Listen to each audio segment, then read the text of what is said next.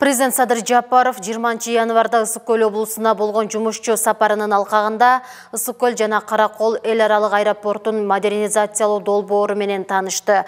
Бул тууралуу президенттин басма сөз кызматынан билдиришти. Ысык көл аэропортунда саатына 450 жүргүнчү кабыл ала турган аэровокзал комплексинин жаңы имаратын куруу пландалууда. Учурдагы комплекс 2003 жылы курулган жана азыр жүргүнчүлөрдүн агымынын көбөйүшүнө туруштук бере албайт.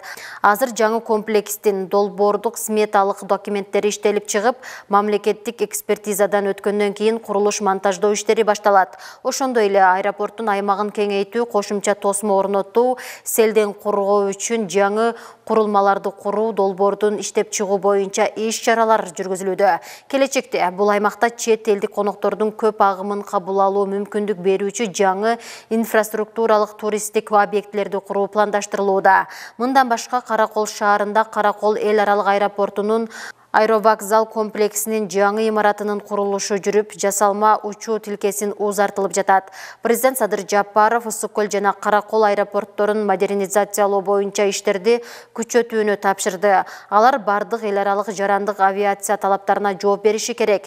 Белгилей кетсек мамлекет башчысынын демилгеси менен улуттук өнүктүрүү программасынын алкагында аймактардагы аэропорттордун инфраструктурасын жакшыртуу жана ички авиакаттамдарды калыбына келтирүү боюнча иш чаралар белгиленген ысык көл каракол нарын ош жалал абад аэропортторун реконструкциялоо пландалууда. Талас облусунда аэропорт ишке киргизилет. Ал эми учурда баткен жана казарман аэропортторунун аэродромдорунун элементтерини оңдоо калыбына келтирүү иштери жүрүп жатат